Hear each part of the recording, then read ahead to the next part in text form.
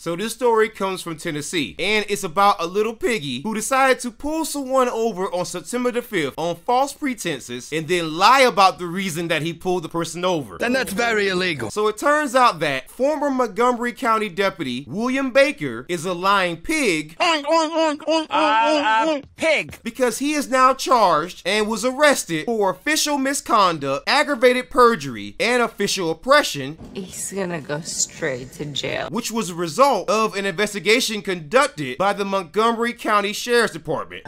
Fired. Fired.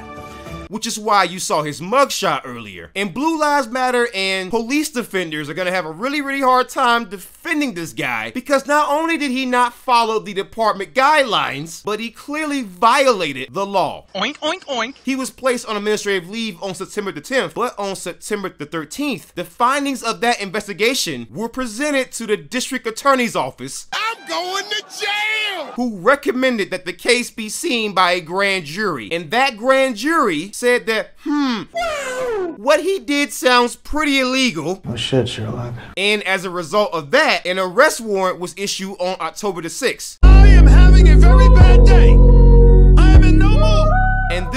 Shows you that once again, if it were not for channels like mine and for what happened to George Floyd, you really wouldn't be seeing stories like this. Because the amount of arrests that you've seen with cops has skyrocketed since 2020. And my channel has been documenting a good bit of these arrests. So if you got a counter argument, you got your work cut out for you. Thanks for watching. If you would like more deep dive content, please go subscribe to my YouTube channel. And if you want more shorter content, you can check out my TikTok. Make sure to like, comment, subscribe, and follow. But most importantly, make sure you share the content with everyone that you know so that we can hold cops accountable. Until next time, horns up, peace out, good night, and good luck.